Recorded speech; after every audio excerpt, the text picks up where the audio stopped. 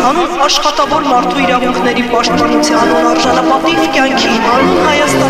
կայուն զարգացման ու սոցիալական հրապարակով անցնում է ժողովրդական Ես Սաթեն Միքայելյանն եմ։ Լրատվական ռադիոյում ինձ վստահված է տնտեսական բլոկը։ 500.000 աշխատավորի, Այսուհետ շփաթը ոչ թե հանգստյան օր է, այլ հենց ամենաաշխատանքայինը։ Ոչ մի հանգի, քանի դեռ հայրենական տնտեսության զարգացման ինդեքսը բացասական է, քանի դեռ հարկավարկային քաղաքականությունը հեռու է բիզնեսին աջակից լինելուց։ Լրատվական ռադիոյի շփաթ օրվա բոլոր հաղորդումներն այս կամ այն կերպ տնտեսության մասին են։ Տնտեսության մասին են։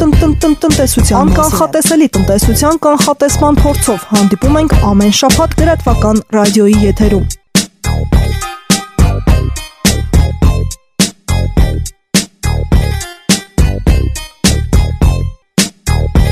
Ժամը քանիսին